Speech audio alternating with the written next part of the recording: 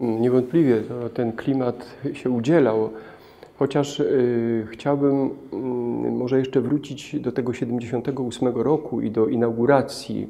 Akurat y, dzisiaj nagrywamy to dzień po 39. rocznicy inauguracji pontyfikatu Jana Pawła II. I pamiętam, że wtedy podczas homilii wypowiedział te znamienne słowa: Nie lękajcie się, otwórzcie drzwi Chrystusowi. I kilka razy się to powtarzało z mocą: otwórzcie na oścież, proszę Was.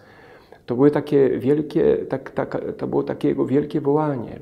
Ja po latach, patrząc na, e, na tę rzeczywistość, to e, mogę powiedzieć też, że e, wtedy, już jako Jan Paweł II, wypowiedział to, mm, co sam przeżywał na co dzień. Bo kiedy powiedział, żeby się nie lękać, otworzyć drzwi Chrystusowi, to myślę, że on, e, to było jego codzienne doświadczenie.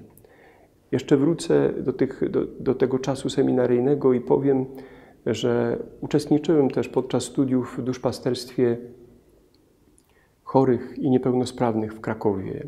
I pamiętam kiedyś chcieliśmy zaprosić metropolity krakowskiego, metropolitę krakowskiego na takie spotkanie z chorymi.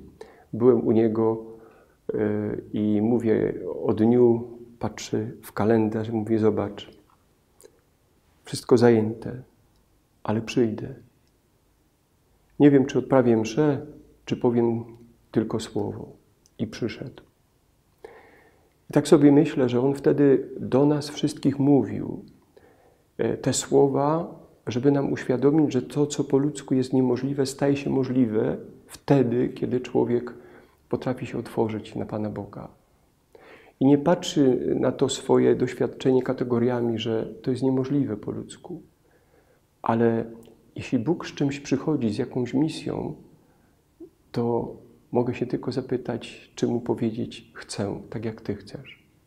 A jak powiem, że chcę, to już Pan Bóg przychodzi z mocą i realizuje to e, właśnie mocą Ducha Świętego z historii zbawienia widzimy, e, jak to było choćby z Maryją, która też powiedziała, to jest niemożliwe, ale chcę tak, jak Ty chcesz. No i stał się cud.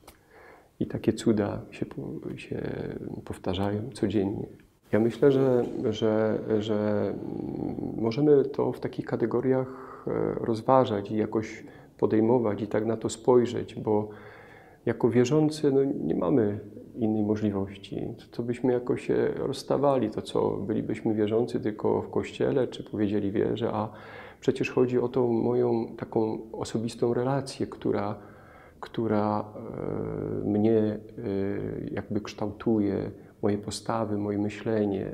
To jest właśnie to, które jest obecne i teraz, kiedy rozmawiamy. To nie jest tak, że, że jest Kościół, czy jest e, tutaj klimat tego centrum E, pamięci, obojętnie gdzie jesteśmy, właśnie ta świadomość, iść. I to myślę jest świadectwo. I o takie świadectwo wołał też mm, Jan Paweł II wówczas na, mm, na placu Zwycięstwa, jeszcze wtedy chyba w Warszawie, wtedy kiedy wypowiedział te słowa w 1979 roku, kiedy mm, e, mówił: Niech stąpi duch Twój i odnowi oblicze ziemi, tej ziemi. On wiedział, że ten wieczernik, w którym było to wielkie zgromadzenie wtedy, e, tak jak w Dniu Pięćdziesiątnicy miał być tym miejscem, z którego umocnieni e, darem Ducha Świętego wychodzą teraz uczniowie, żeby przetwarzać, przemieniać ten świat.